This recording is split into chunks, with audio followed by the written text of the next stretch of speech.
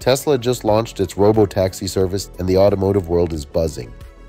The pilot program kicked off in Austin, Texas, where a small fleet of Tesla Model Y vehicles, equipped with Tesla's full self driving technology, started taking real passengers on real trips. This is not a test simulation or a distant concept. Tesla robo-taxis are live, on the road, and carrying people across a geofenced area in South Austin. The rollout is limited for now. Only about 10 to 20 vehicles are in service, and the rides are currently available to a select group of early users, including influencers and investors.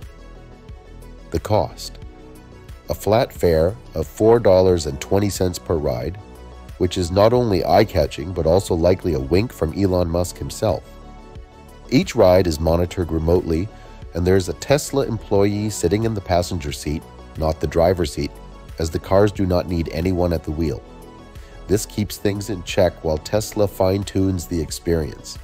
While these vehicles are just standard Model Y crossovers for now, the future of the service points toward Tesla's purpose built robo taxi, often referred to as the Cybercab. That model will have no pedals and no steering wheel and is expected to hit production sometime in 2026. The choice of Austin makes sense.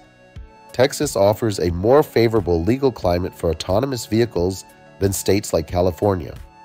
That said, lawmakers have already expressed concern, asking Tesla to pause operations until stricter rules go into effect later this year. The rides so far have been described as smooth and mostly reliable.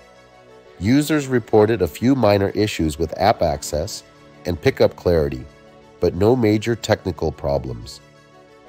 With companies like Waymo already offering autonomous rides in larger volumes, Tesla is entering a competitive market. But with its massive fan base, tight integration with its cars, and ambitious software goals, it is going to be a major player. What's your take on the future? Drop your thoughts in the comments, and don't forget to check out our channel for more future tech updates. Subscribe and hit the bell icon so you never miss a thing.